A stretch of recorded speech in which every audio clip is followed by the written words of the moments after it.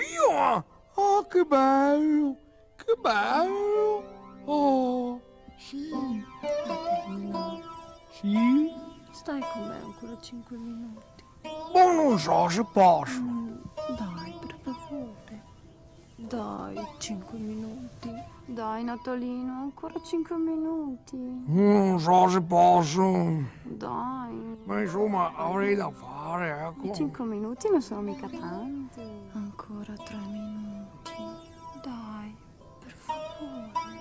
Tre, Solamente tre. ma tre, ma tre, ma però tre, tre minuti, Dai, ti prego. tre minuti, tre minuti, Tre minuti, ti prego. tre.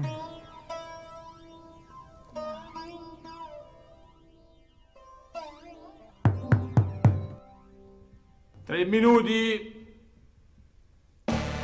Tre minuti! Tre minuti! Porca di una miseria! Porca di una bestia! Tre minuti! Due minuti! Puttana la casa! Due minuti! Due minuti! Un minuto! Miseria! Un minuto! Every gal in Constantinople lives waiting in Istanbul. Even all the Lord was once you died. Why did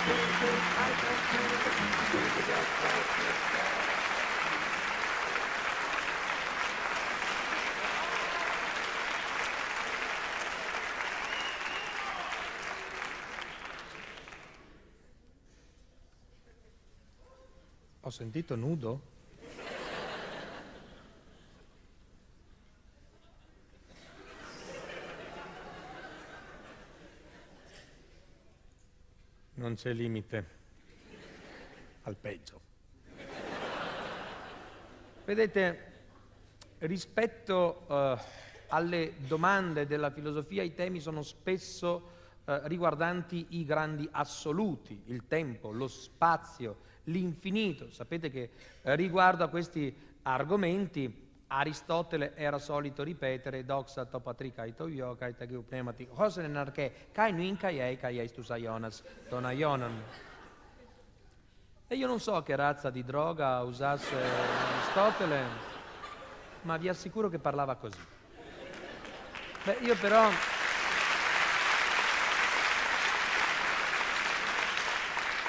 Vi chiedo e mi chiedo quanto tempo è passato da quando il grande filosofo buddista Wu Lin espose la propria teoria che si potrebbe riassumere nell'assunto Tonkyo, fa ciò che vuoi. A quando il grande filosofo Zen Lin Po, forse secoli dopo, postillò Tonkyo Wo Yin Wo, fa ciò che vuoi, basta che non rompi i coglioni. Quanto tempo è passato da quando Archimede di Siracusa scoprì quel suo principio dell'idrostatica che afferma che un corpo immerso in un liquido è meglio che sappia nuotare. O da quando Gesù durante l'ultima cena all'improvviso disse uno di voi mi tradirà e Giuda domandò caffè, limoncelli, grappe. O da quando Muzio Scevola organizzò quella sua grigliata per gli amici. La carne ne risultò salatissima e Muzio disse scusate mi è scappata la mano. Io non so quanto tempo è passato da quando Archimede di Sir... eh, scusate, Archimede, l'abbiamo già detto Archimede? Attenzione perché interrogo poi, eh. Galileo Galilei si svegliò una notte di soprassalto esclamando eppur si muove, illudendo per un attimo anche la moglie. Io non so quanto tempo sia passato, però vedete, so che se siete tutti qui questa sera è perché ciascuno di voi ha letto almeno due o tre testi del filosofo che ci accompagnerà con le sue illuminazioni durante tutto l'arco della serata. E dal fatto che annuite in maniera così energica, intuisco che avete anche già capito di chi stiamo parlando. Avete ragione, è lui, Savino Pezza. Beh, non pensiate che il Pezza sia così conosciuto al di fuori di questo teatro. Vi sbagliate, siete gli unici. Vedete, il Pezza è poco letto principalmente perché è un intellettuale autentico. Eh, non vuole mediazioni culturali, pensa in dialetto, scrive in dialetto. I suoi testi sono molto importanti, vi ricordo il suo ultimo saggio intitolato Sochmel, del quale vorrei ricordarvi eh, eh, l'avvio. Si tratta di un breve distico intitolato L'urlo, che recita grosso modo se l'urlo agghiacciante che ti sveglia all'improvviso nella notte è quello di un pedone, vuol dire che ti eri addormentato in macchina. Ecco, ecco chi è il pezzo, il filosofo. È ben nota la polemica che ci fu tra Savino Pezza ed Albert Einstein, come saprete, per quanto concerne la metrica di Riemann. Noi sappiamo che Einstein si occupò per due anni della metrica di Riemann enucleandone i due quesiti portanti della questione. Il primo dice, di fronte ad una legge del campo basata sulla teoria della relatività ristretta, come dobbiamo riferirci al caso di una vecchia metrica di Riemann? Il secondo dice come enunciare le leggi differenziali che da oggi in poi riguarderanno una metrica del Riemann. Ebbene, il Pezza, col suo saggio intitolato Va Kager T e Riemann, risponde a questi quesiti in maniera garbata ma precisa. Ora, noi questa sera andremo ad analizzare l'intero eh, ventaglio della ricerca pezziana, a partire dai suoi studi esegetici, quindi parleremo di religioni, di antichi testi. Sapete che c'è questo antico testo che si intitola La Genesi, nel quale è scritto che Dio disse all'uomo di dare un nome a tutte le cose e l'uomo chiamò tutte le cose Giampiero. Ecco, vedete, il Pezza ci dice che non è vero che prima c'è la realtà e dopo noi gli diamo un nome. Eh, è vero il contrario. Prima noi definiamo le cose, prima noi gli diamo un nome e in un secondo tempo le cose si adeguano al nome che noi gli avevamo dato. Può sembrare un assurdo, ma è così. Vi faccio un esempio. Quando io arrivo alla stazione col mio treno per prendere un altro treno, ecco quest'altro treno lo chiamo coincidenza. Noi diciamo vado a prendere la coincidenza. Mentre in Svizzera questo stesso tipo di treno ha un altro nome, si chiama corrispondenza. In Svizzera dicono vado a prendere la corrispondenza. Non dicono esattamente così, dicono vado a prendere la corrispondenza, eh, però intendono dire vado a prendere la corrispondenza. Ora va detto che in Svizzera la realtà si è adeguata a questo nome, cioè effettivamente vi è una corrispondenza. Al fatto che io arrivo alla stazione col mio treno corrisponde il fatto che c'è un altro treno che mi attende per un'altra destinazione. In Italia, quando io arrivo alla stazione col mio treno, se c'è l'altro treno è una coincidenza, la realtà si è adeguata. La realtà si adegua sempre. Beh, a volte coincidono anche gli orari. Cioè, mentre il tuo treno sta arrivando, l'altro treno sta partendo. Beh, parleremo questa sera anche di socialità, di opinioni, di pensiero. E io, vedete, sono sempre stato un paladino del libero pensiero. Chi mi conosce lo sa. Ehm, quattro anni fa sono stato anche incarcerato perché credevo nelle mie idee. Qualcuno avrà letto, sono stato incarcerato per un reato di opinione. Io ero dell'opinione che emettere assegni a vuoto si potesse. La Banca Popolare di Milano abbracciava una scuola di pensiero totalmente opposta. Sono scuole di pensiero che si scontrano. Ha vinto la Banca Popolare. Una cosa che non tutti sanno è che in carcere c'è la televisione, ma per punizione si vede solo Rete 4. E non i bellissimi. Emilio Fede. E anch'io mi ponevo la domanda, si consumerà prima la lingua del servo o il culo del padrone? Questa è la domanda ma vedete, quando si, ha, quando si ha molto tempo a disposizione, si impara che gli orari regolari rappresentano salute. Io sono diventato un salutista. tutte, tutti i giorni. Io salto dal letto, balzo come un grillo alle 13.30, cascasse il mondo, sono in piedi. Faccio una breve passeggiata dalla camera al bagno, un'intensa seduta, di che sono pronto per la colazione, una colazione frugale, molto frugale, frugo in credenza e mi spazzolo tutto, dalle pale del mulino bianco alle poppe delle Tre Marie, quello che c'è c'è. Sono un salutista, consumo alimenti che contengono molti cereali, come la birra scura doppio malto, mi servo da una macelleria che usa metodi di macellazione tradizionali, abbatte il bestiame a pugni. Sono un salutista. D'altronde so che una mente sana può stare solo dentro un corpo sano e io in un corpo sano ci entro due volte alla settimana pagando quello che c'è da pagare perché di fronte alla salute non vado a spese.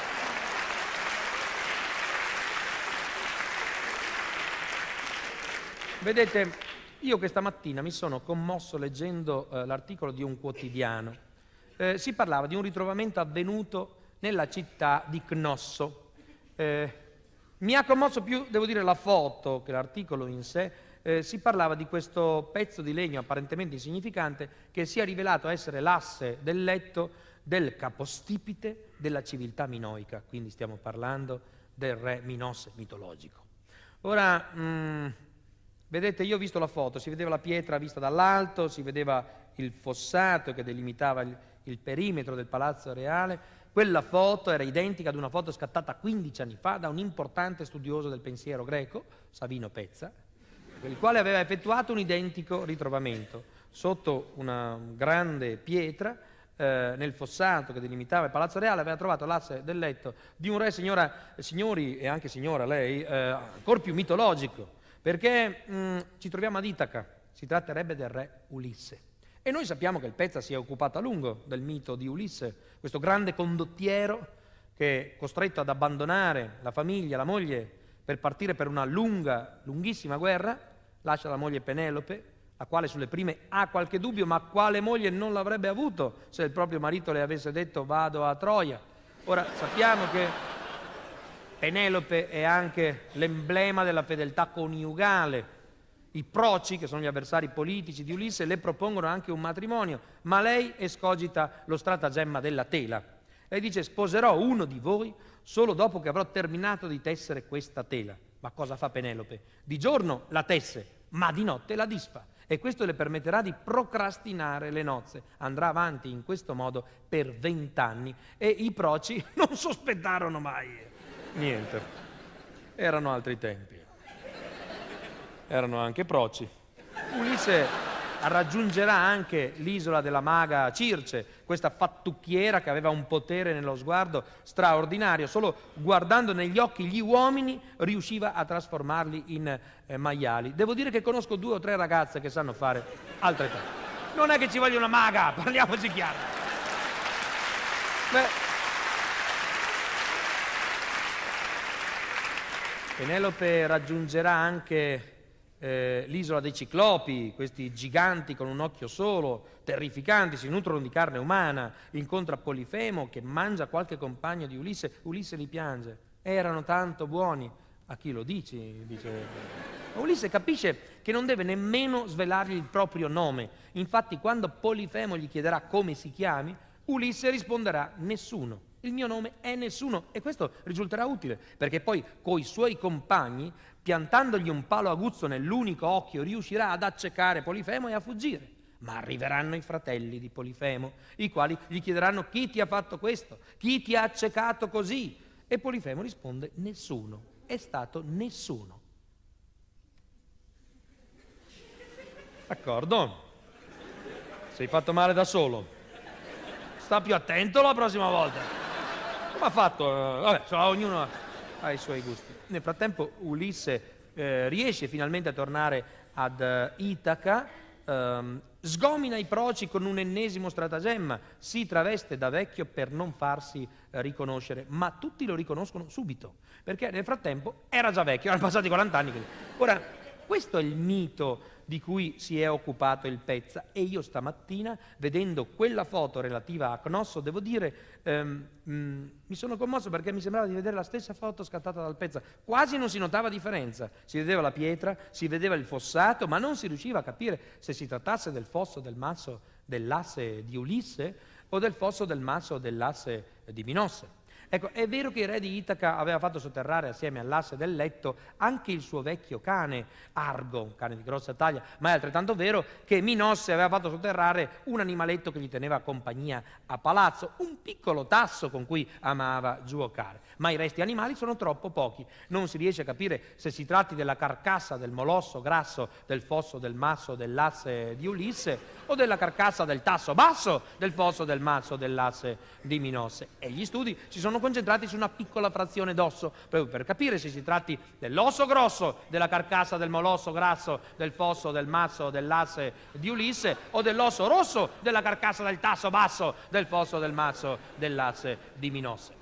E si tratterebbe addirittura di un terzo animale, importato, un opossum. Signori, abbiamo dei documenti, sappiamo che l'animale non era del tutto sveglio, che era appartenuto all'antico re africano Manasse, e in questo caso l'asse non sarebbe quella del letto, perché in Africa c'erano ben altre abitudini. Quindi ci troviamo di fronte all'osso rimosso della carcassa dell'opossum fesso, del fosso, del masso, dell'asse, del cesso di Manasse. E questo mi ha commosso.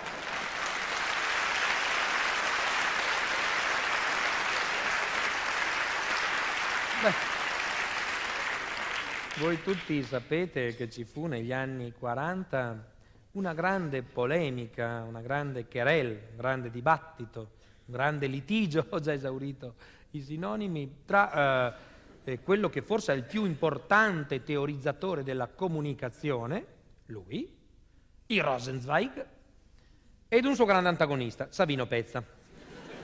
Sapete che la uh, polemica riguardava l'aneddoto del formaggio, che era un, un esempio che il Rosenzweig citava a suffragio delle proprie teorie. Che cosa ci dice il Rosenzweig? Quando io vado ad acquistare un pezzo di formaggio, probabilmente avrò già nella mia testa un'idea del formaggio. Un'idea che però mi sarà formata grazie ad un processo mnemonico. Eh, io non ho ancora mangiato quel pezzo di, rico- di, di, di, formaggio, ma ricorderò di averne mangiato un altro precedentemente. Però attenzione perché tra il pezzo di formaggio che ricordo, che ho già mangiato, che c'è nella mia testa, e il pezzo di formaggio che il salumiere mi sta incartando in questo momento, che devo ancora mangiare, non c'è nessun nesso sostanziale. Quando anche io andassi a chiedere al salumiere ehm, di spiegarmi quale sia l'essenza del formaggio, ma non di quel singolo pezzo, badate bene, non alludo a quel pezzo di formaggio, ma al formaggio in generale, alla formaggità. Beh, Rosenzweig afferma che a questa domanda probabilmente il salumiere non saprebbe rispondere. Vedete, in tutto questo ragionamento l'unica cosa che rimane invariata è la parola formaggio.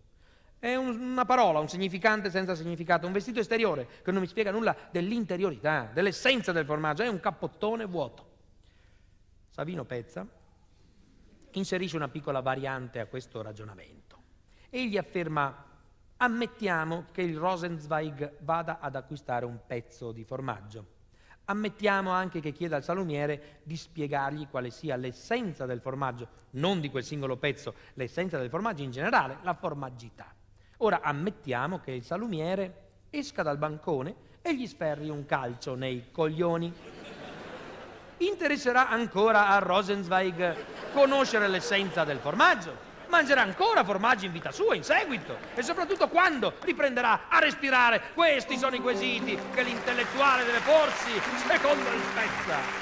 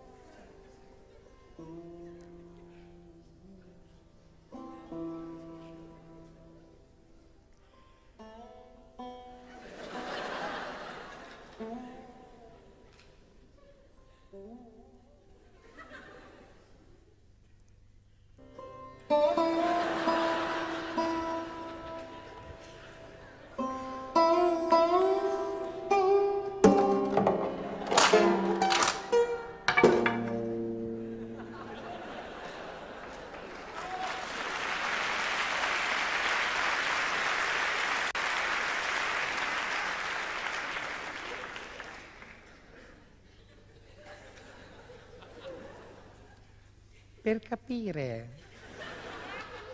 Salabà, per capire la sua setta e le sette sottosette della sua setta, bisogna capire che epoche erano. Erano epoche di pastorizia. Le greggi erano recalcitranti, gli animaletti erano sfuggevoli, andavano spesso in calore. Un giorno Salabar stava inseguendo una capretta sfuggevole, riottosa. D'accordo, la capretta non era in calore, ma Salabar sì. L'aveva quasi raggiunta quando all'improvviso si squarciò il cielo, scese una luce, si udì una voce, le acque si separarono e Salabar disse bisogna che la smetta di fumare quell'erba cittadina. Ma una vocina interiore gli disse che doveva uscire dalla Cappadocia. Gli disse proprio Salabar, esci dalla Cappadocia. Allora Salabar uscì dalla Cappadocia, infilò l'accappatoio e si trovò ad elargire insegnamenti alle masse. Diceva i disegni dell'Altissimo sono impescrottabili, ma i disegni di mio figlio sono inguardabili. Diceva l'uomo che cammina nelle tenebre deve stare attento, si sbatte dappertutto nelle tenebre. Cosa cammini a fare nelle tenebre? Stai a casa che è meglio.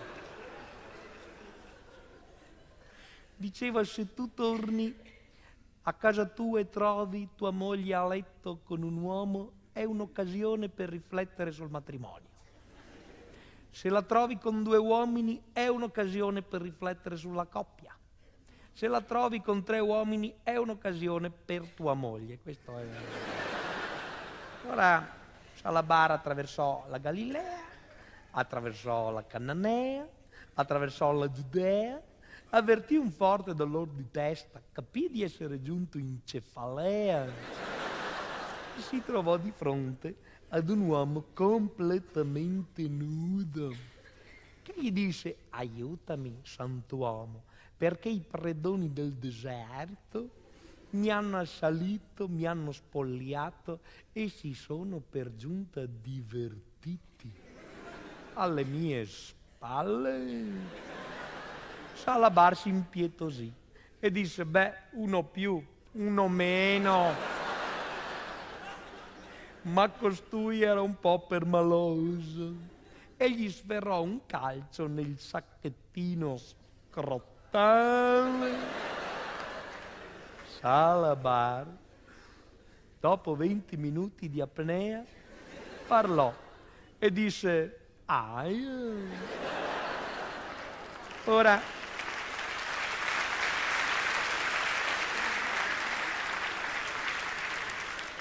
va detta una cosa. Salabar aveva una famiglia molto unita. C'era sua moglie, Sala Giochi, suo figlio, Sala Bingo, e poi aveva tre sorelle. Una un po' cicciottella, si chiamava Salamella. L'altra purtroppo faceva la prostituta, si chiamava Salamelecchi. E poi c'era una terza sorella che però non si, sa- non si sapeva mai dov'era, si chiamava Saralà. Ora, Salabar decise di andarla a cercare al mercato di Cafarnao. Vide un uomo che vendeva polli, era un Gallileo. Vide un uomo che fumava l'erba, era un Cannaneo. Vide un uomo che vendeva pentole, era Cesare Cadeo. Ma non vide Saralà. E nonostante tutto, Salabar aveva sempre una parola buona per tutti. Un bimbo gli disse, i miei genitori non si occupano di me, mi accompagnano dai nonni la domenica, poi tornano a prendermi la sera, ma io tutte quelle ore al cimitero mi annoio, mi annoio. Male, disse Salabar, ma una vocina interiore gli disse che era giunto il momento di compiere dei miracoli. Allora Salabar andò nel deserto e disse io adesso sto nel deserto 40 giorni senza mangiare, senza bere, ma che sono miracoli questi. Andò nel deserto, dopo 20 minuti disse, oh, che fame però. E tornò a casa, che stai a fare nel deserto? Però lui portava la pace in giro nel mondo vide una volta della gente che stava lapidando una donna, le tiravano dei pietroni grossi proprio e Salabar li fermò e salvò quella donna. Disse basta, ma siete impazziti, rovinate il muretto, dai andate a casa. Poi chiese alla donna, ma perché ti volevano lapidare questi matti? E lei disse, perché sono una prostituta. E che prezzi fai? Attualmente mi attesto sulle 100.000. Oh, c'è caro però. E fan bene tirarti i pietroni, allora. Abbassi i prezzi, no? Avevo una parola per tutti, Salabar. E poi decise di compiere un altro miracolo. Disse, adesso vado eh, nel lago di Cafarnao e cammino sulle acque. Andò, mise il piede in acqua e disse, oh, c'è freddina però. Sembrava più calda da lontano. E tornò a casa, ti prendi raffreddore. E che sono miracoli da far d'estate questi qua. Ma per la via incontrò due discepoli taoisti. Li salutò alla loro maniera. Tao, tao. Ed essi gli avevano portato un indemoniato da guarire. Costui sbavava come un San Bernardo si agitava come una stringa di petardi. E Salabar gli chiese, come ti chiami? Vittorio Sgarbi. Io vado a casa, cosa sto a fare qua? Ma poi incontrò i figli di Zebedeo, Giovanni e Giacomo. Non c'era ancora Aldo, allora e loro gli dissero, maestro, dacci un, un, insegnamento, dici una parabola. Noi sappiamo che tu hai un sacco di parabole in serbo. Sì, ma se ve le dico in serbo, non le capite, dai. Però vi voglio dare un insegnamento. Non si vive di solo pane, anche i grissini sono buoni. Che santuomo, un santuomo, che santuomo.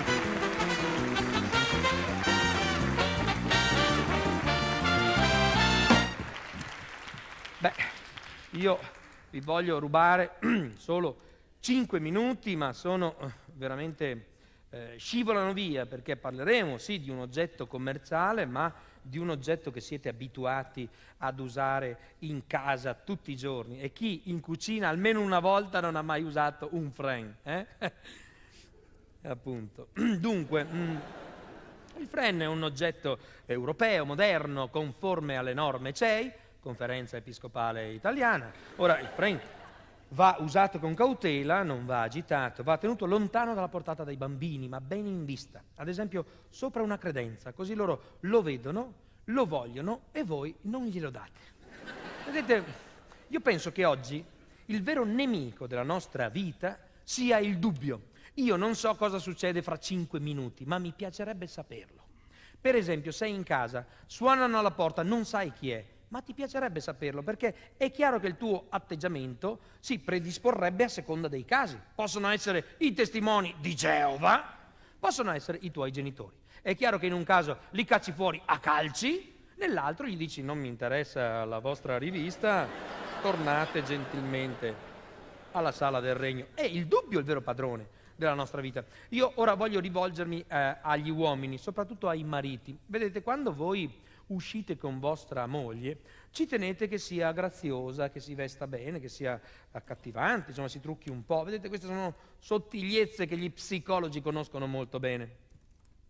Anche alle persone più gelose, più possessive, Fa piacere nel proprio recondito che la propria moglie piaccia fisicamente anche agli altri, che attiri gli altri, che faccia sbavare il prossimo, che attraversi la strada fra i grugniti dei camionisti.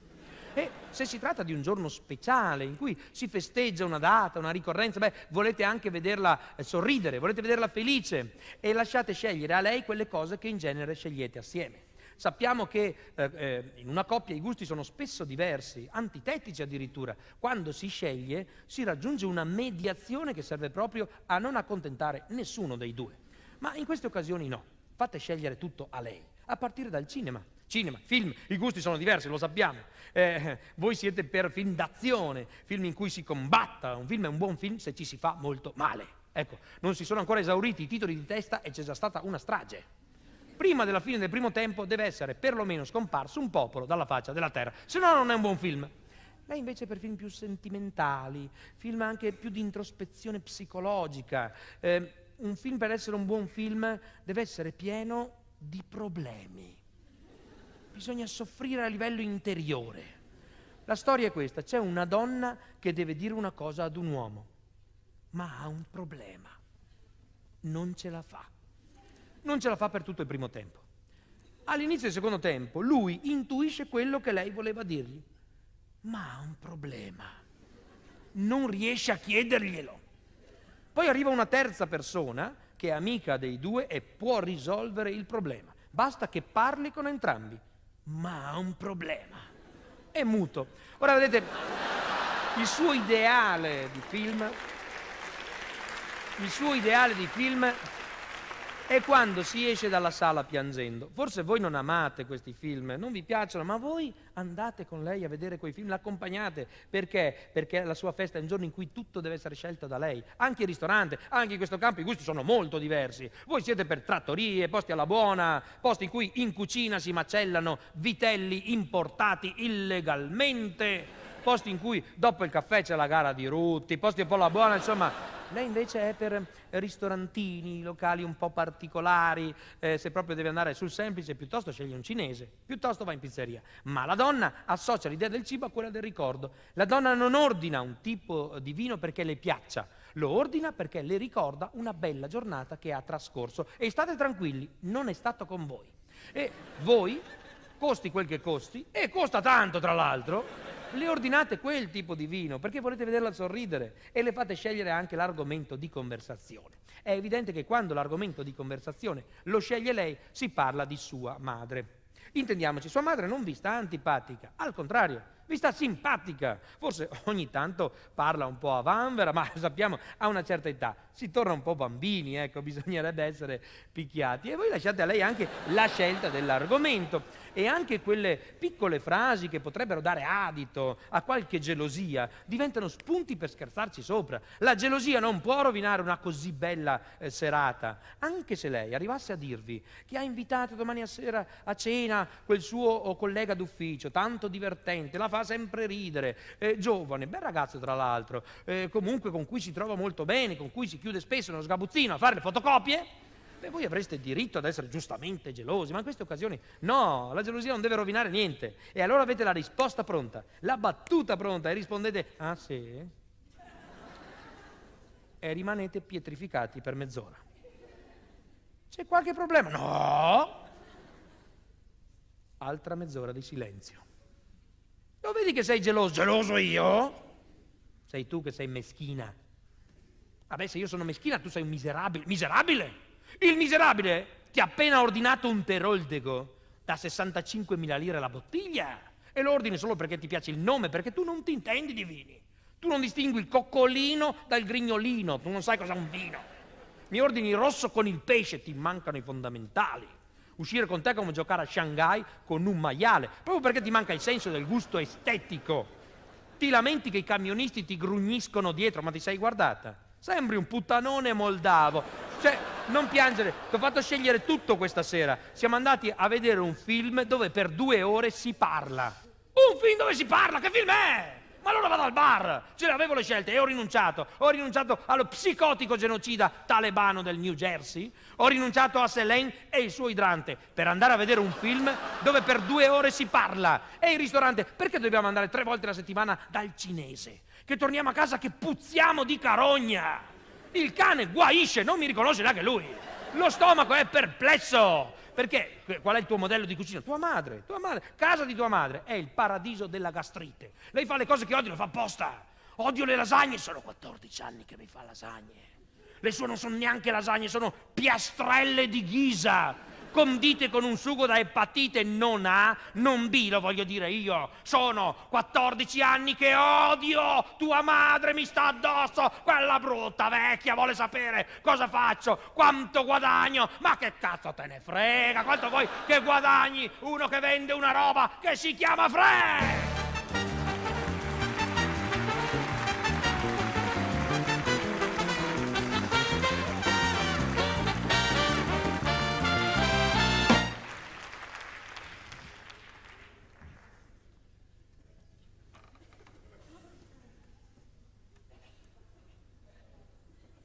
Un frame? Beh, voi tutti sapete che c'è questo importante re del passato che pronunciava una frase beh, che a mio, a mio avviso è di una modernità sconcertante. Questo re diceva la civiltà di un popolo si misura da come questo popolo sa educare i propri bambini. Che bella frase. Ovviamente sto parlando del re Erode. Ma vedete... Erode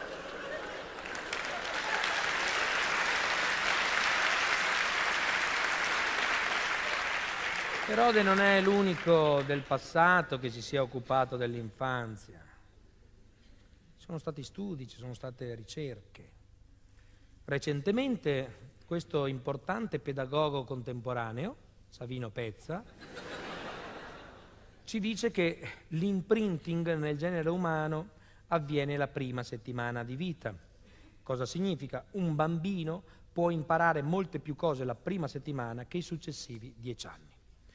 In quella settimana ha un cervello strutturato in maniera tale che potrebbe incamerare miliardi di informazioni se noi gliele dessimo.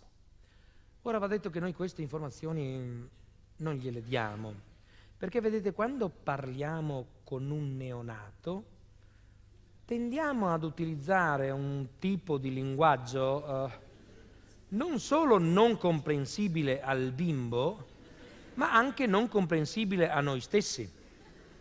Di fronte al bimbo in fasce, l'adulto tende a trasformarsi in un deficiente totale e pronuncia frasi come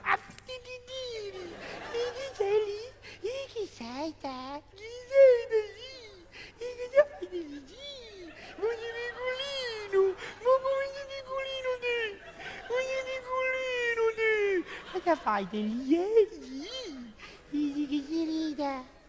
Sì che si rida. Sì. Ma cosa dici? Non si capisce. Non si capisce quello che dici. Io sì che si capisce, te no. No, dai, non si fa così. È pronto. Pronto, siete. Pronto, pronto. No, no. Pronto, pronto. Non si fa così, no. Non si fa così. Non si fa così, no.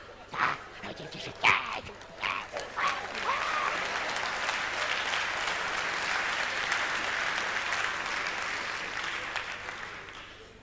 Dopo aver ricevuto queste informazioni, io mi chiedo come può un bimbo in fasce nutrire fiducia in gente che parla così. È evidente che il bimbo imparerà tardi a parlare. È altresì evidente che avrà continue crisi di identità. Perché un bimbo cui viene ripetuto ma che bei piedini santi, ma che belle manine sante, il bimbo pensa di essere padre Pio, ma non è colpa sua, è colpa nostra. Ai bimbi le cose vanno dette come stanno. Vedete, lo dice il Pezza, io posso fare anche qualche esempio privato perché mh, in famiglia seguiamo il metodo pezziano. Eh, Vedete, io a mio figlio, che ha solo tre mesi, dico Vercingetorige.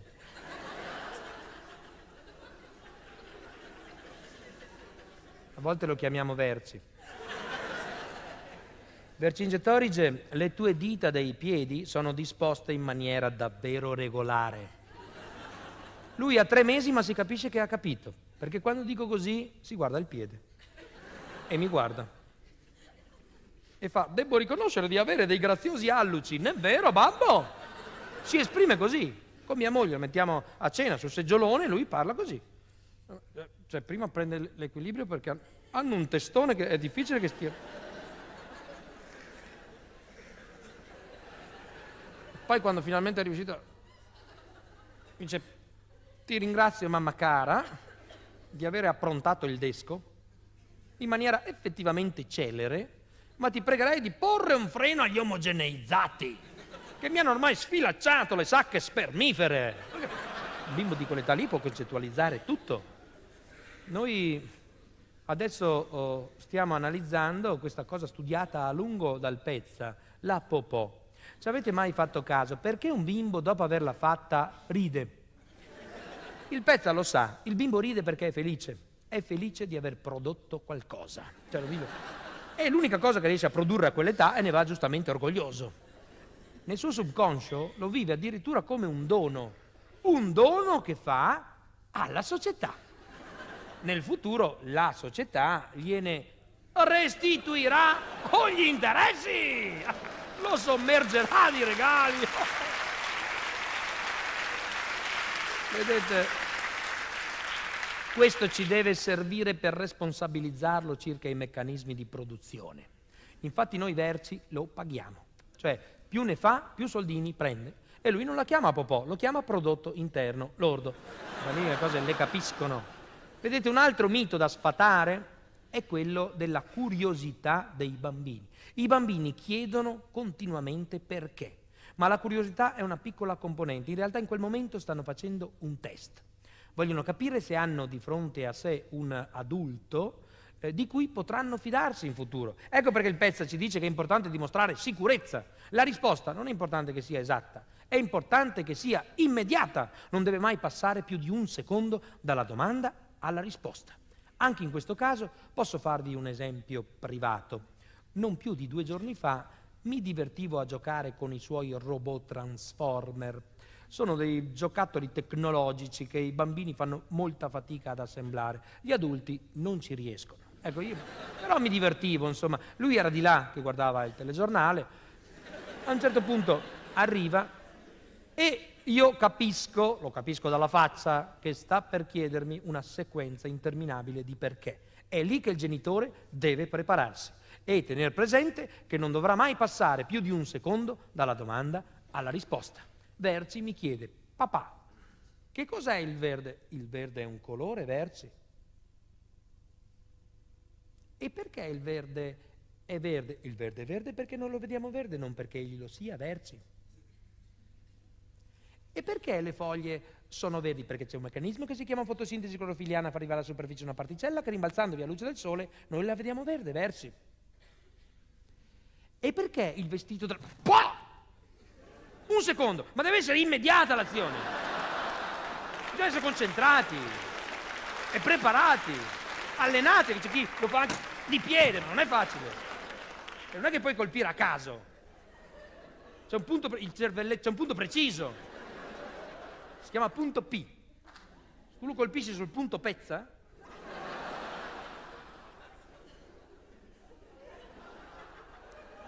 si sveglia dopo due giorni, non si ricorda cos'è successo, ma in futuro, quando si troverà a fare delle domande, arrivata la terza, inspiegabilmente si bloccherà.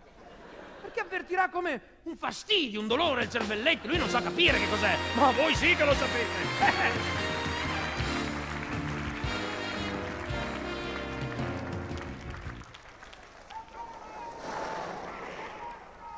Il primo viaggio di Cristoforo Colombo viene organizzato a partire dall'aprile 1492. La spedizione è composta da 120 uomini e tre caravelle a tre alberi.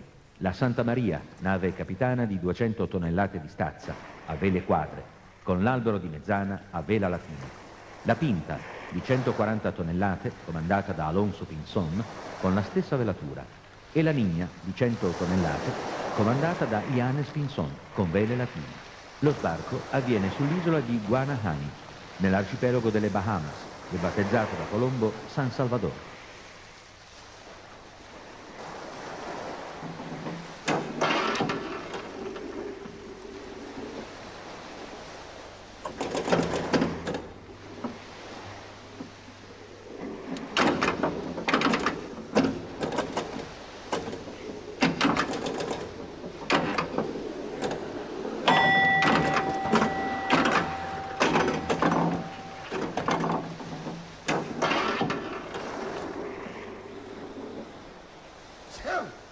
Salute.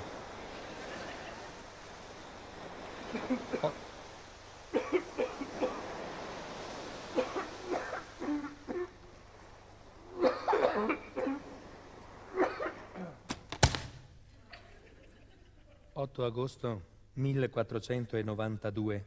Oggi gli uomini mi sembrano un po' irrequieti. Certo, sentono la mancanza delle loro donne, anche Suor Marta è preoccupata.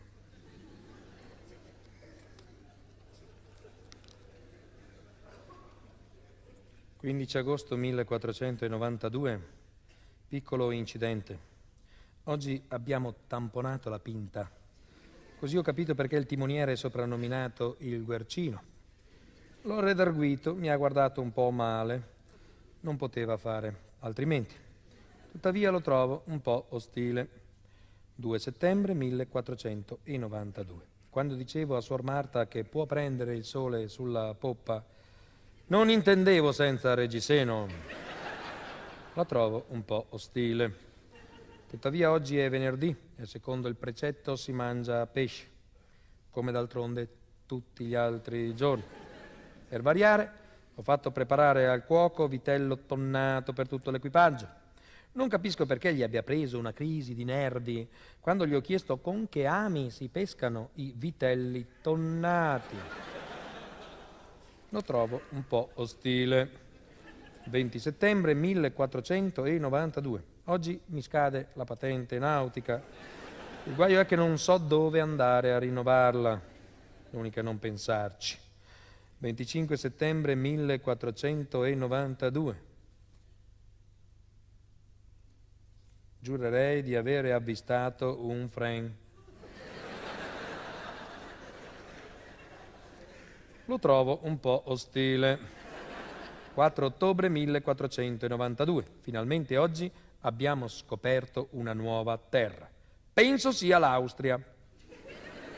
Il Nostromo mi ha chiesto le cartine, gli ho detto che non è il momento di mettersi a fumare. Sono apparsi anche dei selvaggi che hanno preso ad accoppiarsi con l'equipaggio. Una roba brutta da vedere. Ma io che non sono scemo, gli ho detto che avevo la peste. Così domani mi bruciano. Eh, confido nel destino, anche se, devo dire, lo trovo un po' ostile.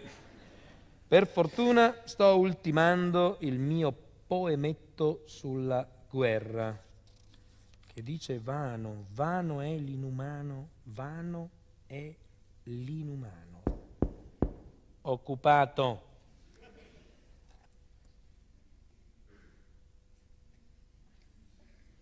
Vano è l'inumano.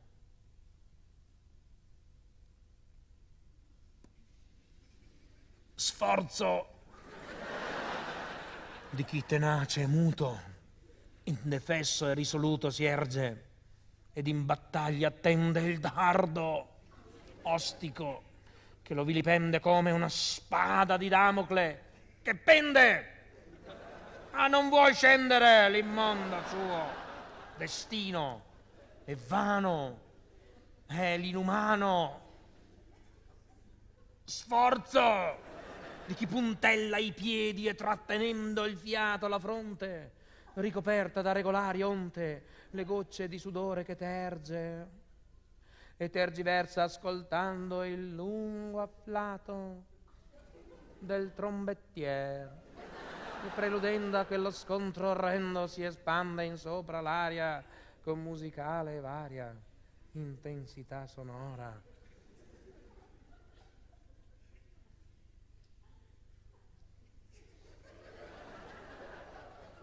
Ed ora si riprende. I muscoli ritende, insiste, si armatta, spinge ed ogni sforzo è teso a liberare il peso. Poi ecco la visaglia dei primi scoppiettanti colpi di mitraglia. Poi ecco che si sente eh, che improvvisamente molteplici esplosioni di lava tormentoni fan l'acqua, mille spruzzi pelisolando in onda intorno di rimbombo boato, dirompente.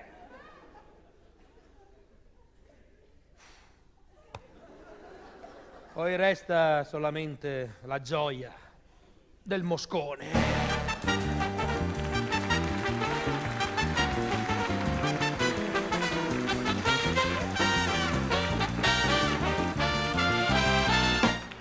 Beh, io non posso che ringraziare il mio collega che mi ha preceduto, il quale ha parlato a un friend.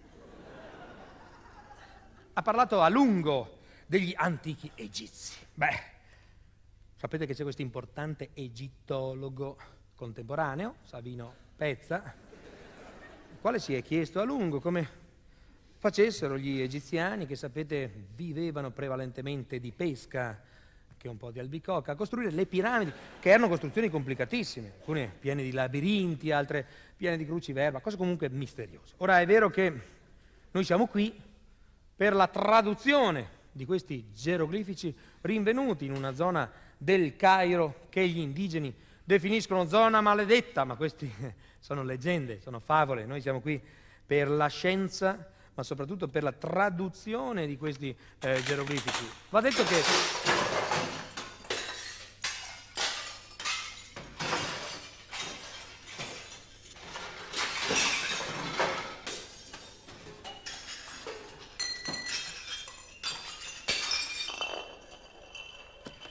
conferenza su quelle rarissime terracotte cinesi, annullala.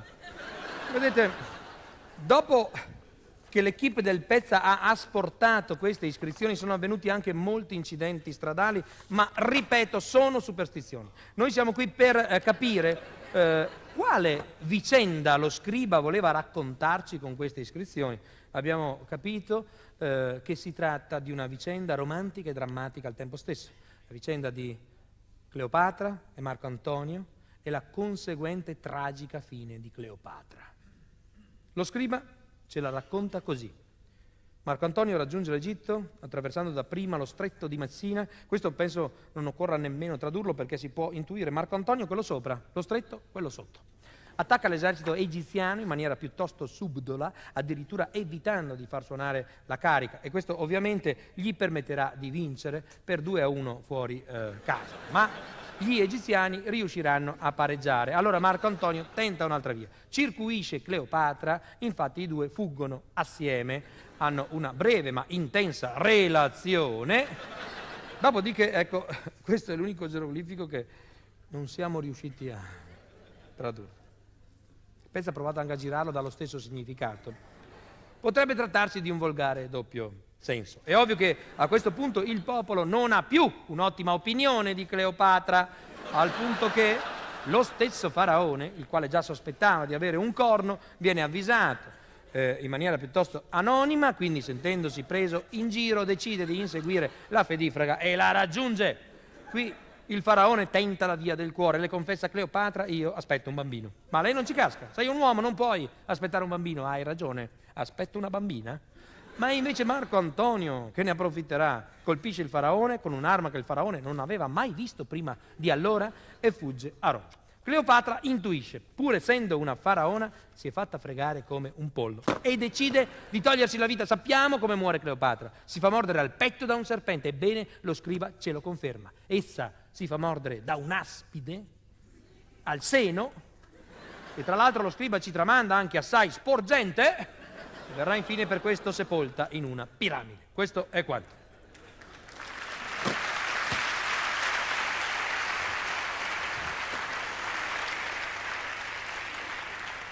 Beh, a questo punto dobbiamo fare un lungo passo indietro, andare alle scaturigini. Chiediamoci quali sono le vere origini dell'umanità. Voi sapete che noi abbiamo a tutt'oggi davanti agli occhi esempi viventi che ci riportano indietro nella scala evolutiva. Come si spiegano, ad esempio, strani fenomeni animali come l'uomo ragno, la donna lupo, pecoraro scagno e tanti altri.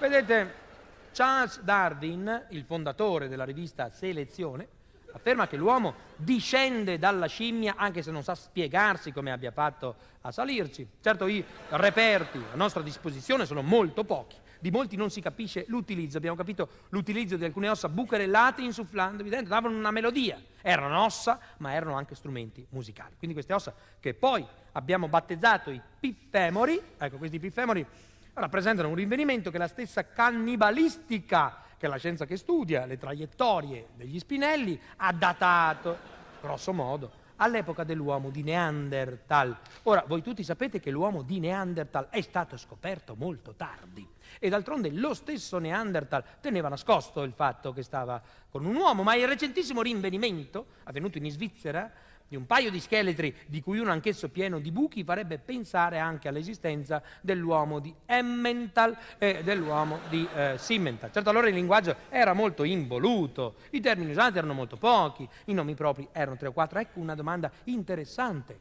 Con che nomi si chiamavano tra di loro i primitivi? Tre o quattro nomi, Dino, Sauro, Rino, Ceronte e pochissimi altri.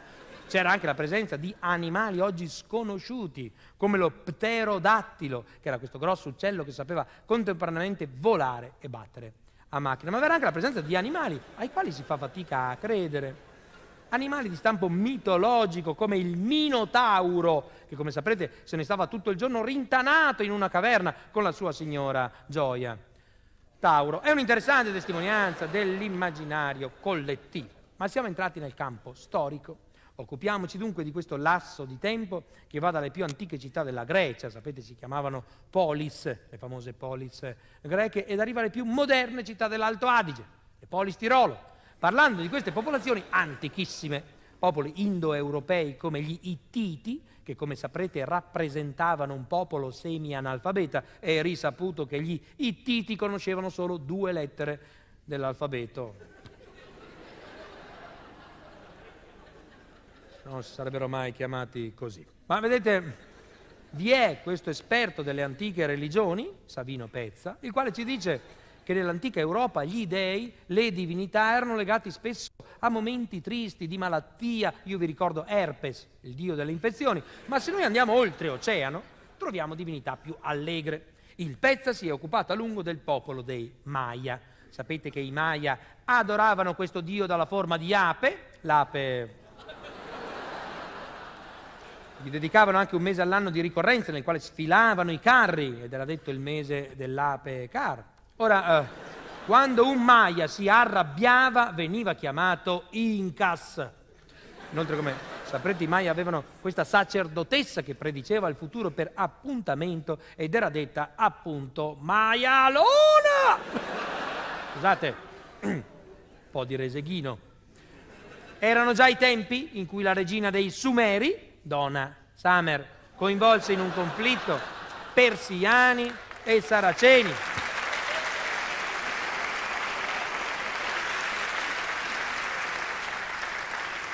Vi ringrazio, ma non siamo al cabaret.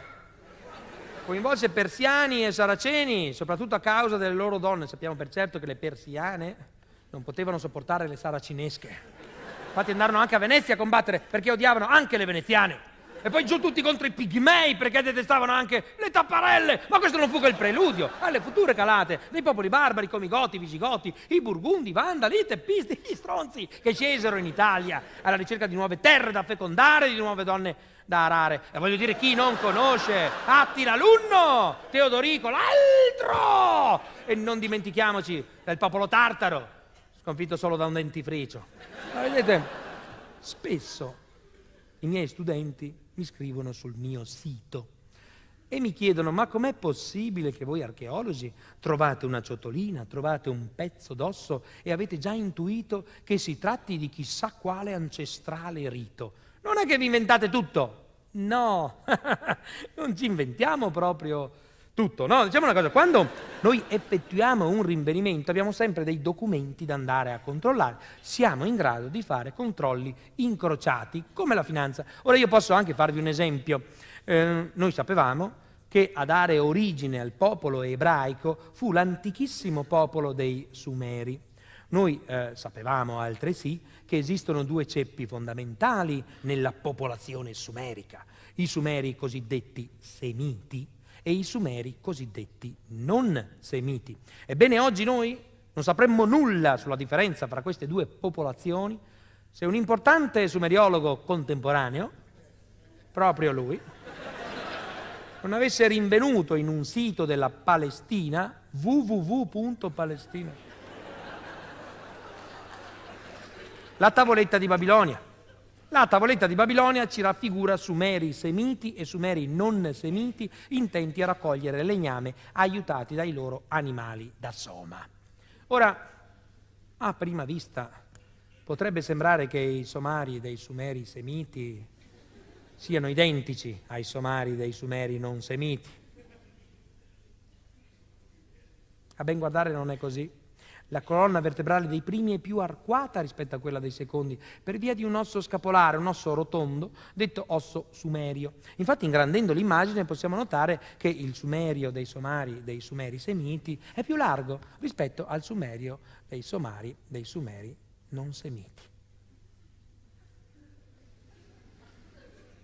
Oggi la moderna scienza medica ci insegna che le maggiori o minori dimensioni delle ossa e delle cartilagini è data dall'azione di un enzima del sangue, detta somatina. Ebbene, noi ci chiediamo perché la somatina del sumerio dei somari dei sumeri semiti fosse più attiva rispetto alla somatina del sumerio dei somari dei sumeri non semiti. L'ipotesi più accreditata parla di un unico enzima proveniente però da due regioni differenti e precisamente la somatina del Sumerio dei Somari dei Sumeri Semiti da Samaria e la somatina del Sumerio dei Somari dei Sumeri non Semiti da Samarcanda. Questa ipotesi è valorata dal ritrovamento di alcuni sacchi pieni di chicchi di sesamo di cui questi animali erano veramente ghiottissimi. Dalle analisi è risultato che grazie ai sacchi di semi di sesamo di Samaria la somatina del sumerio dei somari dei sumeri semiti era resa più acida di quanto non facessero i sacchi di semi di sesamo di Samarcanda alla somatina del sumerio dei somari dei sumeri non semiti. Ma vedete, all'interno di queste due popolazioni vi erano ulteriori differenze intrinseche ad esempio vi era chi sapeva leggere e scrivere e chi invece era analfabeta. Quindi possiamo dire che vi erano sumeri semiti somari e sumeri semiti non somari, così come vi erano sumeri non semiti somari e sumeri non semiti non somari. Va da sé. È ovvio che chi studiava di più lavorava meno, quindi il suo animale si stancava meno. Quindi possiamo dire che i somari dei sumeri semiti o non semiti somari erano più stanchi dei somari dei sumeri semiti o non semiti non somari. Ma essendo più stanchi questi animali erano anche più lenti, più tardi di comprendonio, quindi possiamo anche dire che i somari dei sumeri, semiti o non semiti, somari erano più somari dei somari dei sumeri, semiti o non semiti, non somari. Ma questo a prescindere dalla somatina del sumerio dei somari, dei sumeri, siano essi semiti o non semiti, somari o non somari.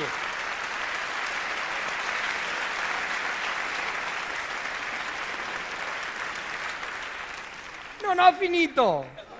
Sarebbe un bel somaro chi affermasse che è più somara la somatina del sumerio dei somari, dei sumeri semiti e non semiti somari, e meno somara la somatina del sumerio dei somari, dei sumeri semiti e non semiti non somari, anche perché, signori miei, non c'erano solo i sumeri semiti e i sumeri non semiti, nah! Troppo facile! C'erano anche i semiti non sumeri.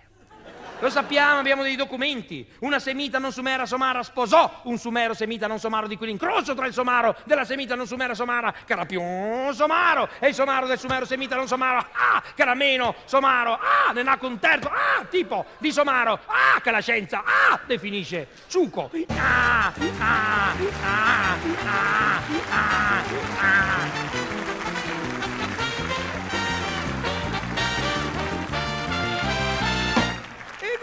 Seigneur! ¡Ah! Ygritte! Ah! Hein? Ma cos'è questa confusione qua?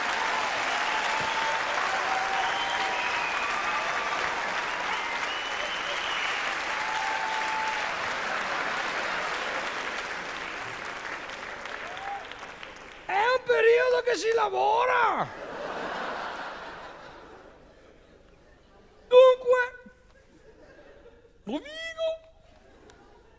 lì, ero lì, Rovigo, giusto? Eh? Se ero qua ero lì. Miau! Rovigo lì, aprile 2002. Punto. Egregio signor Presidente entrante, speriamo non troppo, dell'Associazione del Cinema. Punto. Vengo, mi scusi il termine, a lei con questa mia, che spero diventi anche sua. Come posso confidarci il mio pensiero? Come posso esprimerci il mio rammarico? Come posso, insomma, come va lì in ufficio? Qua tutto bene, grazie. Perché sono tutte queste formulette che fai. Ho fatto col computer sta qua, eh? Davvero? Ho comprato Word 2000! Professional! Ma stiamo scherzando? Eh, giù, l'ho fatto col computer! Ora no! Adesso sembra scritta a penna perché in realtà mi si è rotta la stampante, ho dovuto copiare tutto dal schermo, ma che difficile! Ma l'ho fatto col computer. Il computer è un problema perché lui ha un sacco di cose automatiche e poi te non riesci a fare più niente manuale. Davvero, eh? Per esempio, Word 2000 Professional ha la correzione automatica. Lui corregge tutte quelle parole che per lui sono sbagliate. Non ci interessa che per te sono giuste. Lui le corregge lo stesso. Scrivo Balasso, mi scrive Salasso. Scrivo Dini, mi scrive Fini. Mi cambia il tipo di politico proprio. D'Alema Calamaio. Vabbè. Ha anche un altro programma che serve per correggere le parolacce dentro le IMAI. Ti arriva le IMAI tutte piene di parolacce, no? Allora lui corregge tutto e ha anche un fotoritocco per ritoccare le foto troppo sconce. Eh? Si chiama, proprio serve a censurare, si chiama Censored 2002. Professional anche lui. Mi è arrivata una IMAI con dentro tutti i nomi dei politici. Alla voce onorevole Maroni, lui mi ha corretto onorevole Amennicoli. Giuro! Casini, case chiuse, onorevole case chiuse.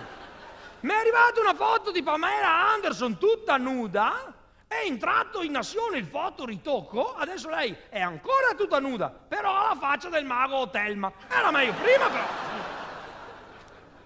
Sai qual è il problema di questa roba qua? Che io, per esempio, ho voluto cavare via la correzione automatica. Ho detto, adesso la voglio fare manuale. Ci riesci solo se hai una pagina sola di documenti ma io avevo un documento di tre pagine. È impossibile. Perché io la prima pagina, vabbè, ho detto, adesso facciamo la correzione manuale, guardiamo in schermo, mi prendo il mio bianchetto e comincio a fare le mie correzioni su schermo.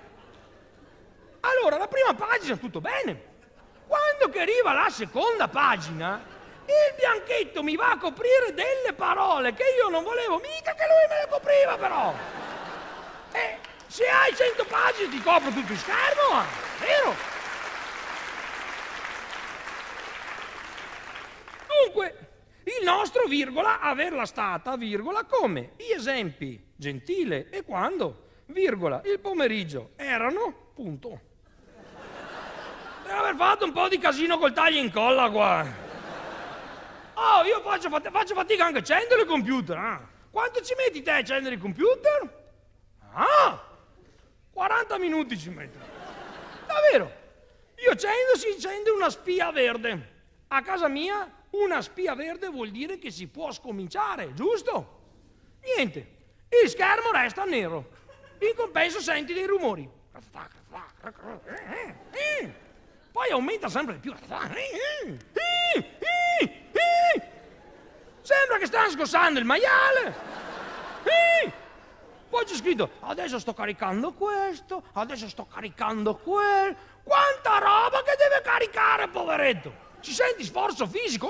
Fino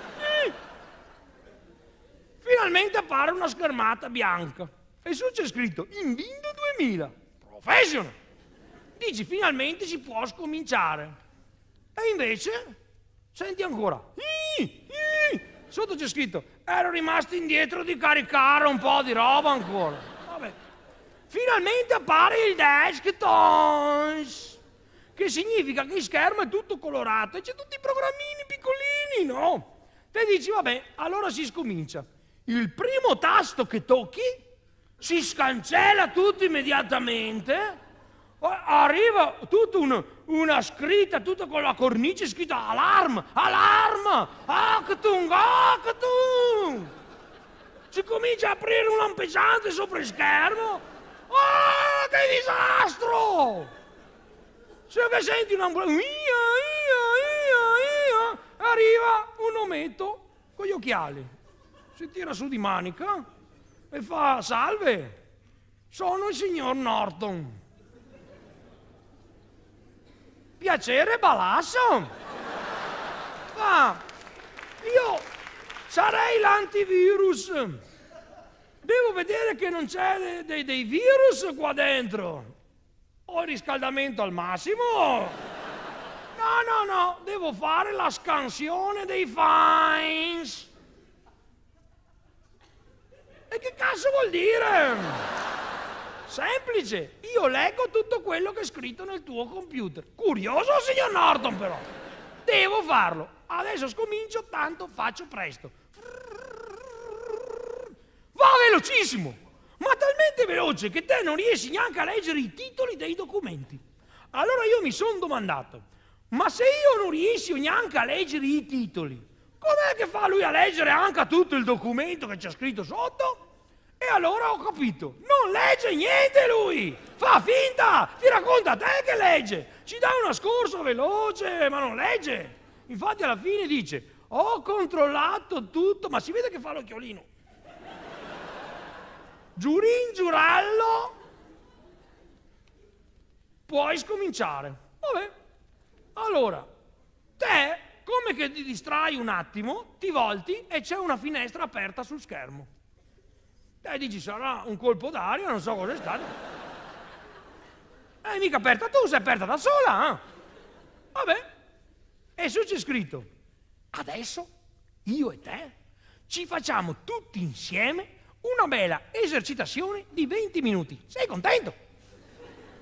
Scritto, guarda, hai fatto tardi a sgossare il maiale. Allora, state a prendere... Ma è inutile che te ci parli, ah, perché lui non ti ascolta mica te, fa tutto automatico, parte da sola l'esercitazione. Lui ti dice, adesso ti presento il mio assistente. Salta fuori un cagnoletto, un can. Uh, uh, uh, uh, uh. Comincia a girare avanti e indietro per il schermo. Io ho pensato, magari è un giochino, ah. adesso lo ammasso col mouse. ah. Si è aperto tutto il schermo riempito di finestre, più visto neanche al can. Poi ho pensato, finché non sporca, teniamolo. Ma ho fatto male perché le cartelle dei programmi da me sono tutte mangiate sugli angoli, mi sta facendo un sacco di dispetti sto can. Mi va a frugare dentro al cestino, eh. Io metto, butta cestino e lui mi svuota cestino subito. Mi è andato anche in calore la settimana scorsa. Mi ha marcato il territorio, devo stare lontano dal schermo adesso io, eh. Neanche Norton non ce la fa più, signor Norton. Ah, sto cane, tacca la gamba, basta, va via, brutto cagnasso, maledetto. Ti mando in quarantena, ti mando. Il cane ti insegna tutto quello che te devi fare e te ti senti intelligente, no? C'è un cane che ti insegna. Vabbè, però sono tanti 20 minuti, quando che sei quasi alla fine, coi maroni che rimbalzano da tutte le parti e il cane che ci vuole anche giocare, si apre una finestra beffarda e su c'è scritto che peccato! La nostra esercitazione volge ormai al termine. Io ho pensato, a quello lì è meglio darci ragione. E allora ho fatto un po' la commedia, ho fatto, "Mm, che scalogna, che sfortunello che sono. Mm." Sai cosa ho fatto? Facendo, "Mm", ho picchiato sul mouse. Mi è ripartita l'esercitazione. 40 minuti ho fatto per attaccare sto maledetto da un computer. Pazienza. Io, signor Presidente, ci esprimo un cruccio che ho di una roba sumida che sta succedendo in Italia, in dentro, in, nell'interno dei cinema.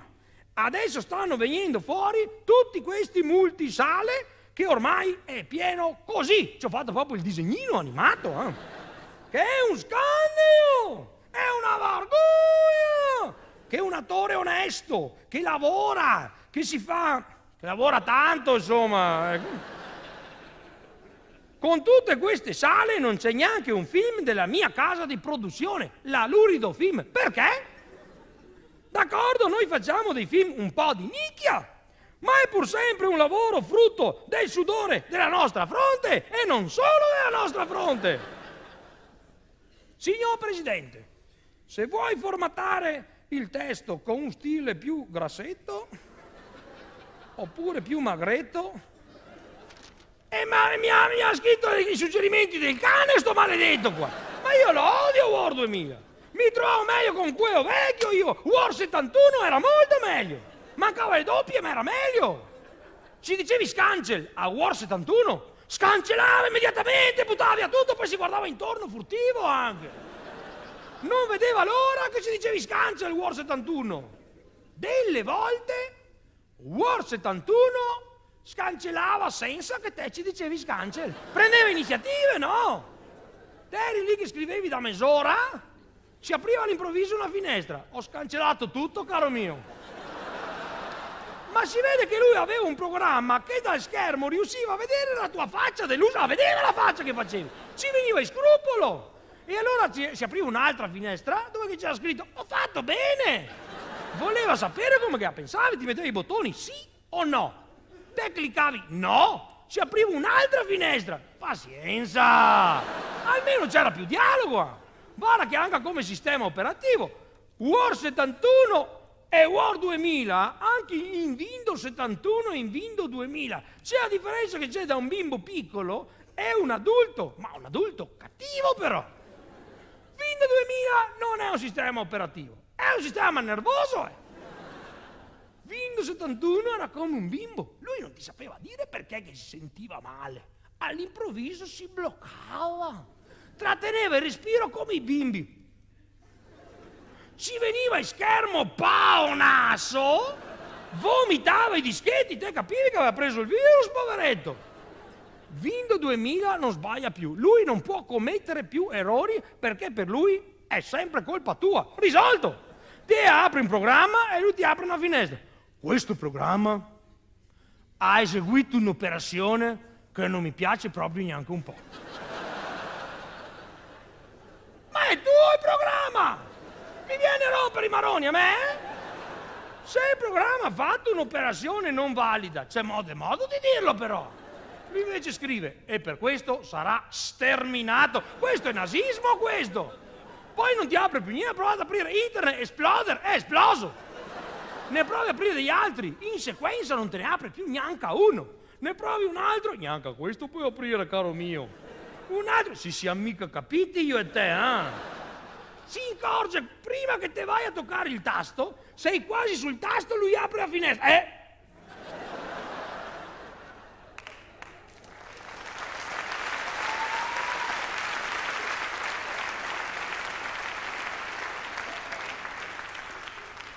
Visto non toccare lì, cacca! Allora te, zitto zitto, quatto quatto, e anche gobo gobo, senza che lui si incorge, ci vai col piede sotto la scrivania e ci clicchi reset. Così hai fregato, ah? Pensi te di averlo fregato. Quando che si riaccende, ancora più incassato di prima. Un schermone blu e ti dice, l'ultima volta che hai spento il computer, non hai mica fatto tanto una roba. Bene a te, ah? Ma lasciami in pace un attimo. Golden Gun, stieti in pace.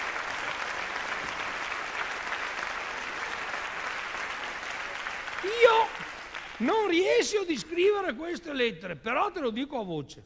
Quando che andiamo in un cinema, dobbiamo domandare dei film di qualità. C'è delle case di produzione bravissime. La nostra casa, la Lurido Film, fa dei film bellissimi. Se noi facciamo una rassegna dei nostri... A parte che è una rassegna che vi interessa a tutti quanti, sono sicuro che voi andate a vedere i nostri film. È una retrospettiva che secondo me vi può interessare. Facciamo tutti i film di quest'anno. Abbiamo fatto un film ambientato a Venezia, titolato Anna il Grande. È andato bene. Un film su Chicago di anni 20 dove io faccio la parte di un noto gangster che si chiama Al Chiappone. Un film sui tre moschettieri. Uno per tutti e tutti dentro uno. Io qua interpretavo uno, eh, ero da solo. Ho fatto D'Artagnas. La spada nella roccia. Volevo fare Artù, ma hanno fatto fare la roccia. Pazienza. Bisogna adattarsi, ma che noi siamo pro- professionisti. C'è un regista che dice, ciac, si gira. Io mi giro e comincia il film come cinema normale, anche gli altri. eh. Ma stai scherzando? Facciamo di tutto noi. Guarda che io ho fatto anche la parte di un contadino tibetano io, eh? Che ara a mano proprio col suo aratro tibetano. Lo sai come che è fatto l'aratro tibetano? È piccolissimo l'aratro tibetano. Qual è il problema? Che in Tibet il periodo dell'aratura coincide col periodo degli amori di un tipo di antilope tibetano che si chiama impala. E non a caso, eh. Il contadino terrorizzato la sola idea di toccare l'aratro. Il titolo proprio Paura d'arare, proprio introspettivo come. Va che sono film difficili da fare. Una volta ho fatto anche un film intitolato L'uomo che sussurrava ai cavalli basta. Prova te se sei capace. Prova, prova. Guarda che il cavallo, il cavallo, e- e a me mi dispiace parlare male dei colleghi, ma il cavallo è inutile che il regista ci dice stop, smette quando che vuole, lui quella bestia vigliacca maledetta, è inaffidabile il cavallo. Meno male facciamo i cartoni animati, abbiamo fatto La Lampo di Aladino, chi ha castrato Roger Rabbit, spingi Gonzales. Eh, ridi, ma che Gonzales è piccoletto, ma dà fastidio, eh? I Pokémon. Poi abbiamo fatto una serie italo-veneto-giapponese intitolata Sailor Mona. È andata bene, siamo contenti. Però il film che io ci tengo che venite tutti a vederlo è questo film ambientato nei rioporti con i rioplani. È la storia di un passeggero che sono io, protagonista assoluto. Il passeggero sta per imbarcarsi nel suo rioplano col suo bel bigliettino. Ma a un certo punto, una folata di vento, sparassina, ci fa volare il biglietto nel bel mezzo della pista.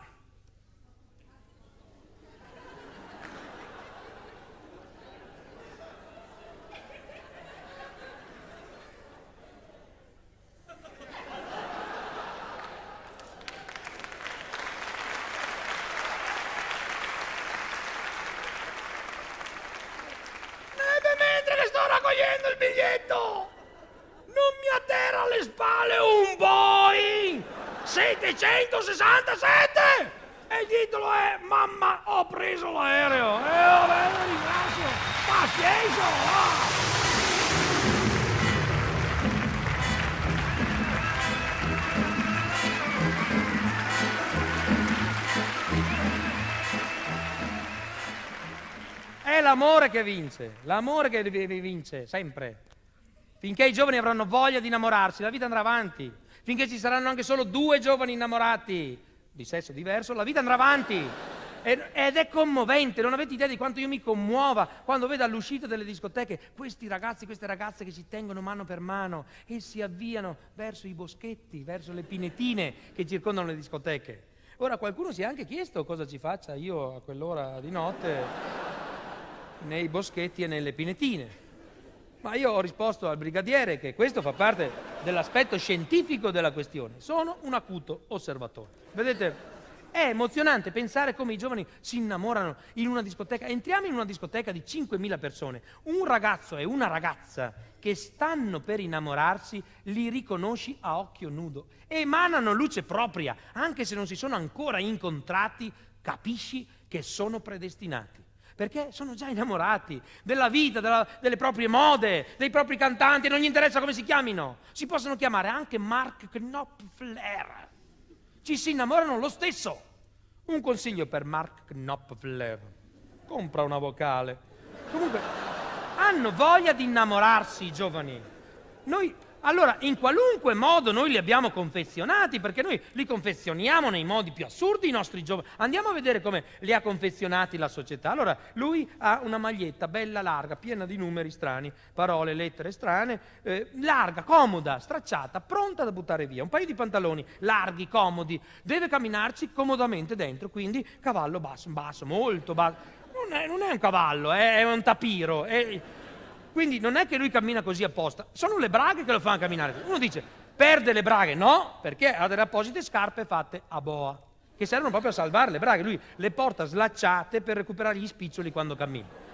Lei un paio di pantaloni attillati, che però hanno questo aggancio di tipo inguinale, cioè gli manca tanto così di cintura. Gli rimane questo mezzo sorriso qui dietro, che lascia intravedere un indumento che lei si ostina a chiamare mutande, ma che è solo una linea frangichiappe. Lui, a vedere sta roba che si dimena, non capisce più niente. Cioè, i suoi ormoni fanno gli esercizi di riscaldamento. Lei intuisce, quindi ballando lascia sollevare questo top che fa intravedere un reggiseno che a stento tenta di trattenere due capezzoli imbizzarriti che fanno di tutto per fuoriuscire. Lui non capisce più niente, capisce che deve far finta di saper ballare. Gli esce solo il passo del petomane, ma ci prova. Lei è più disinvolta, lei si muove come se un burattinaio le sollevasse le natiche alternativamente, anche perché questo filo intervulvare le dà la scossa mentre balla. Ma ormai sono innamorati, mano nella mano, escono dalla discoteca, lui che sta attento a non pestarsi i lacci cammina così. Lei ancora col passo del burattinaio cammina così. Sembra una gita a Lourdes, ma è appena nato un amore.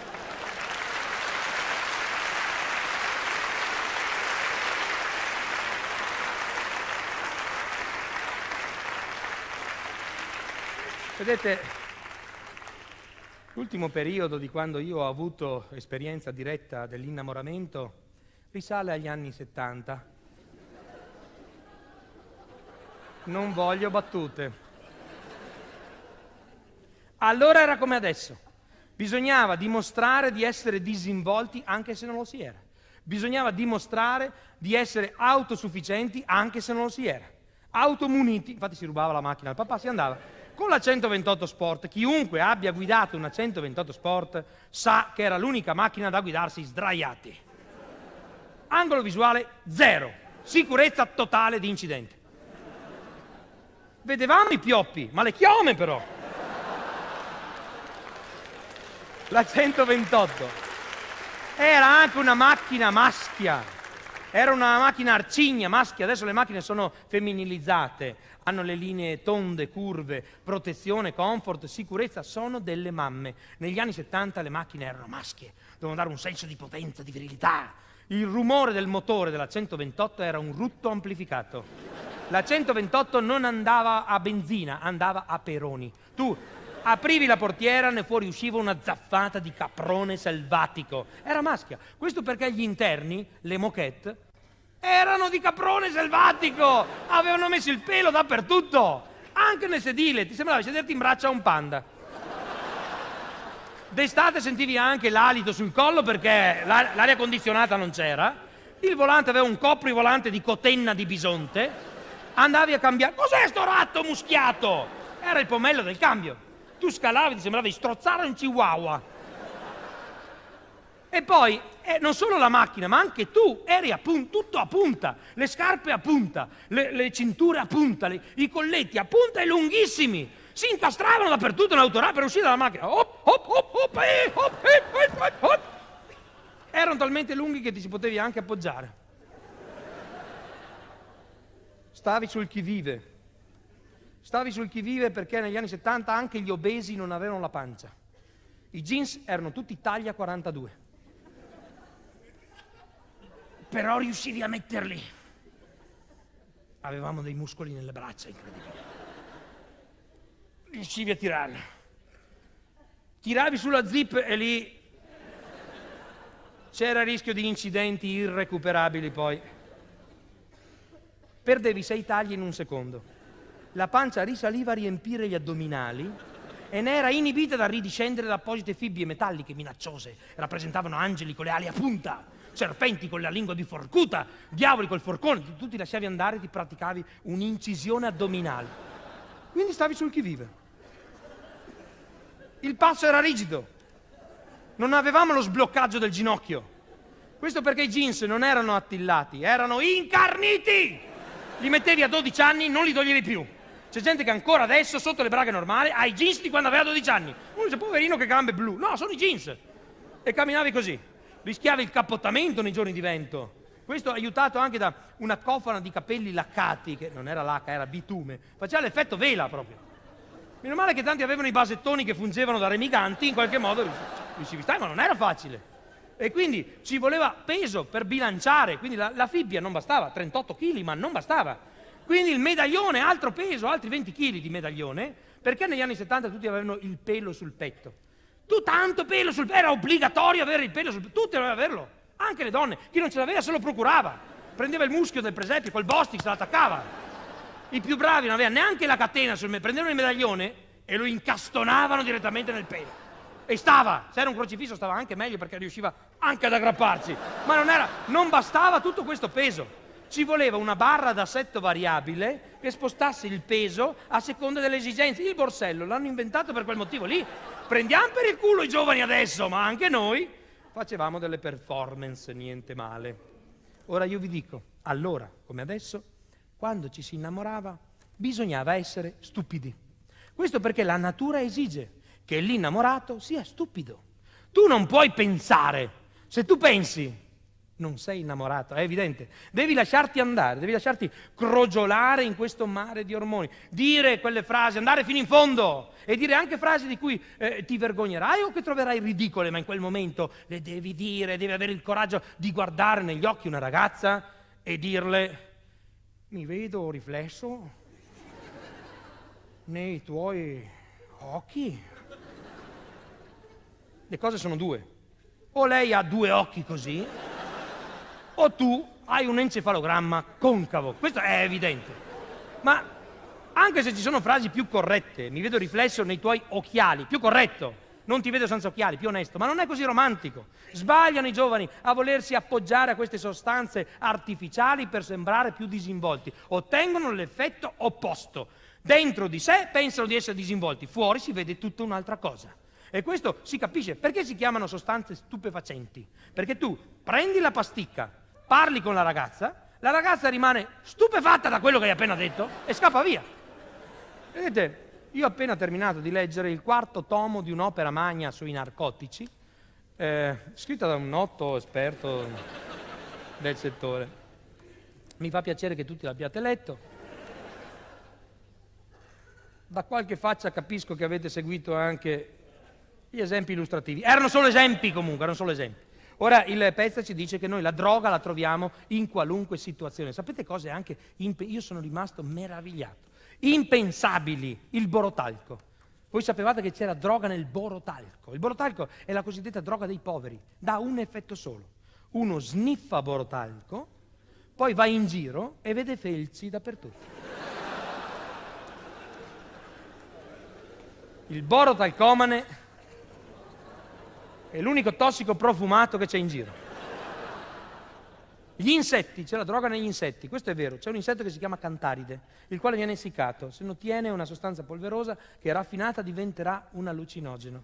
Ora mi assicurano che tutti questi procedimenti, cioè il primo che ha fatto tutte queste cose con la cantaride, la prima volta l'ha fatto a caso, l'ha scoperto per caso. Per caso? Ma com'è possibile? Cioè io posso capire come per caso il selvaggio impara a fumare l'erba. Questo è comprensibile perché il selvaggio è seduto ai limiti del bosco, arriva un fulmine, va a fuoco il bosco, si riempie tutto di fumo, comprese delle piantine di marijuana che crescono spontaneamente. Il selvaggio vede i cervi che escono cantando il reggae, con le treccioline al posto delle corna, e dice magari c'è da divertirsi là dentro. Ma non capisco la cantaride, perché un insetto per prenderlo, bruciarlo, essiccarlo, grattugiarlo, sniffarlo, cosa ti ha fatto sto insetto per trattarlo così? Ammazzalo subito! Un po' di bygone!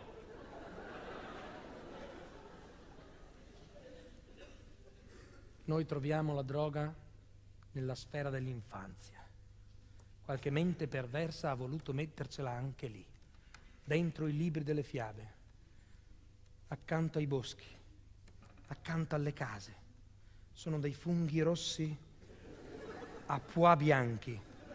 Si chiamano amanite muscarie e sono funghi che danno allucinazioni. Come abbiamo fatto a non accorgercene mai? Bastava leggere. Solo una persona in preda ad allucinazioni può aver visto una casetta di marzapane gialla e rosa in mezzo a un bosco. Solo uno che si è fatto una droga pesante può aver visto un tipo in calzamaglia che suona il piffero e 400 pantegane che gli vanno dietro. Solo uno che si droga tutti i giorni può aver visto un gatto che si mette gli stivali. Dove lo trova il suo numero? E poi va più veloce, no?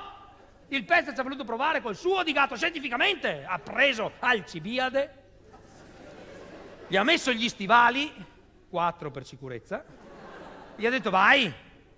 Non riesce, non si imbalza, non ce la fa. Il gatto con gli stivali non riesce neanche a partire. E Biancaneve, perché pensate che si chiamasse Biancaneve?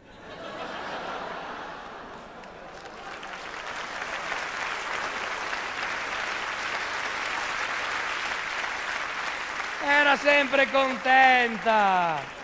Come si sta bene nel bosco in mezzo ai toporagni. E chi stava meglio di lei? Cosa gliene fregava lei del principe azzurro? Onestamente, saranno stati nani, ma erano sette. C'era la scelta. Lei ogni tanto diceva vado di là a farmi un pisolo, Brontolo si incazzava. Brontolo era sempre incazzato. E se no, noi tutto il giorno a tagliare bonsai, Ecco perché io sarò sempre d'accordo con Cicerone quando afferma che... Eh, cosa diceva Cicerone? Nunc per aspera ad astra tamquam alea iacta est veni vidi vici sic et simpliciter quaque tu, quaque tu condizio sine quando ubi maior minor cessat et mutata mutandis. Ah, ah. Ma era il protagonista. La mosca 2 sei uno prima. Scusa, non sapevo che eri te. Riprenditi, riprendi. Ah, a respirazione. Niente, bisogna prenderne uno nuovo.